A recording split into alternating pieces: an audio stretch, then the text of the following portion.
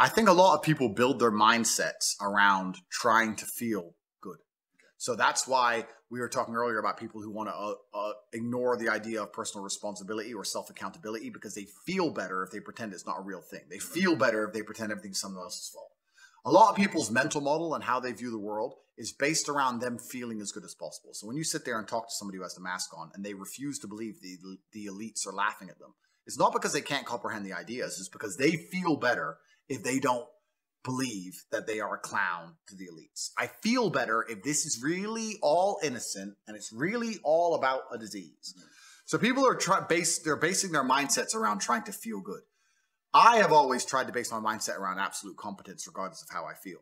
And there are there are certainly disadvantages to that. There are times you're going to be a lot more pessimistic, or you're going to be a lot more stressed, or a lot more you know pissed off about certain things than others. Yeah, that can be seen as a downside. But like I said, I use all of those things for unlimited motivation to propel my endless upward trajectory. But if you construct a mindset that allows you to be as competent as possible, as opposed to feel any different or feel better, then you're going to naturally come to the conclusions I've come to. You're as competent as possible if you believe you can affect absolutely everything about your life. You're as competent as possible if you believe absolutely everything that's happened to you, whether good or bad, is completely your fault. You're as competent as possible if you believe the bad things that happen to you are going to allow you to work harder and become even better. When bad things happen to me, the first thing out my mouth is good. Good.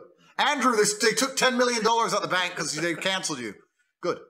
Good. That's just my response. Good. Andrew, this happened. Good. Good, good. Now, now I'm really pissed. good. like, like it's it, that this mindset I've constructed allows me to be as fearsome a competitor as possible. It allows me to be a feared opponent in any realm of human endeavor, and that's that's the point of a mindset. Why would you have a mental model or a mentality that made you anything less?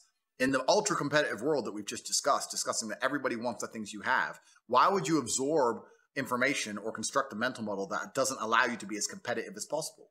I am a feared competitor in anything I do. Anyone who's up against me at anything is going to feel a degree of nervousness just because it's me.